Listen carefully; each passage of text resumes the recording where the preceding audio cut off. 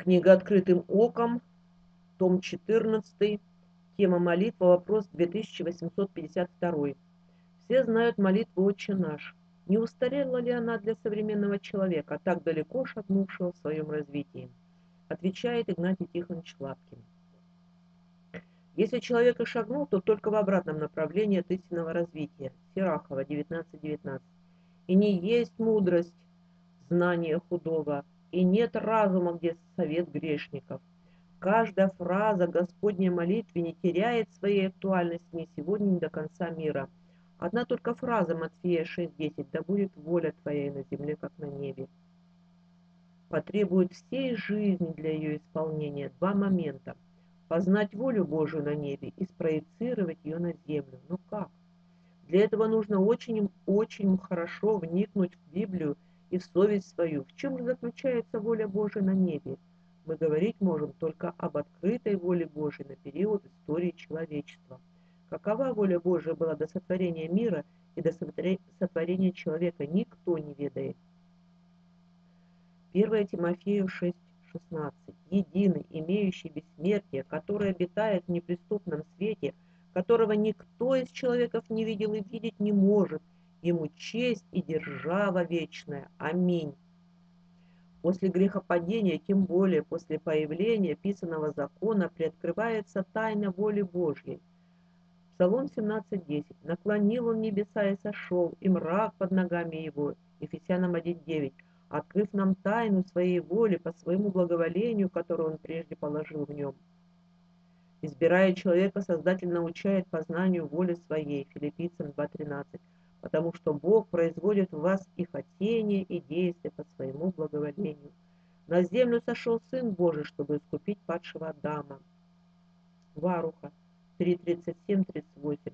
Он нашел все пути премудрости и даровал ее рабу своему Иакову, и возлюбленному своему Израилю, после того, как он явился на земле и обращался между людьми. Матфея 18:14. Так, нет воли Отца вашего Небесного, чтобы погиб один из малых сил. Иоанна 6:39. Воля же пославшего меня Отца есть та, чтобы из того, что Он мне дал, ничего не погубить, но все то воскресить в последний день. Матфея 10.29. Не две ли малые птицы продаются за осарий, и ни одна из них не упадет на землю без воли Отца вашего. Иоанна 5.30. Я ничего не могу творить сам от себя, когда слышу, так и сужу. Суд мой праведен, ибо не ищу воль моей воли, но воли пославшего меня Отца. Галатам 1.4 который отдал себя самого за грехи наши, чтобы избавить нас от настоящего лукавого века – по воле Бога и Отца нашего. Воля Отца Небесного на небе, направленная к тому, что на, на земле было свято и верно Ему. Иова 2.3. И сказал Господь сатане, обратил ли ты внимание твое на раба моего, Иова? Ибо нет такого, как он на земле, человек непорочный, справедливый, богобоязненный и удаляющийся от зла, и доселе тверд в своей непорочности, а ты возбуждал меня против него, чтобы погубить его безвинно. Исайя 6.8. «И услышал я голос Господа, говорящего, кого мне послать? И кто пойдет для нас?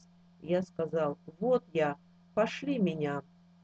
Воле Бога, а значит воле небесной противятся все, кто не имеет в себе авторитета Библии, а это в первую очередь монашествующее, священство.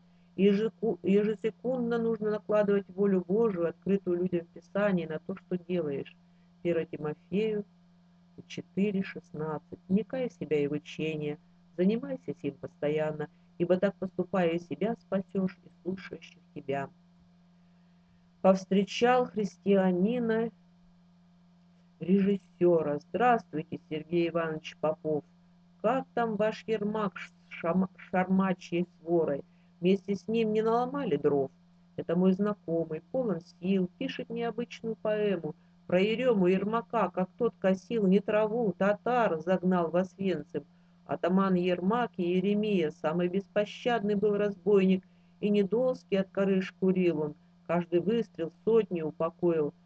Да, историю мы знаем, как старуху, помутившуюся в разуме, что входит под себя. Атаман-разбойник ночью в воду рухнул, часовые сном могильным спят. Взявший меч сам от меча погиб, плен вели, в плену и околели. Банда из грабителей, какой у них был вид. Жен чужих хватали из постели. Как же можно зверство прославлять, полностью отрекшись от Иисуса? Что есть истина? Ощерился Пилат. Христиан на нехристей науськов. Нет, Сергей Иванович, не надо.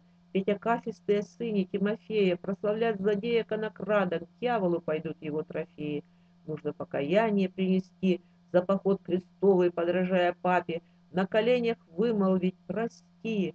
Внуки Ермака все так же любят хапать. И не пойтесь тяжкого похмелья, не озвучивайте кровь и грязь злодея. Кормите не Библией, а зельем. Что же вырастет, когда такое сеем? 16 ноября 2006 ноября 2005 года Игнатий Лапкин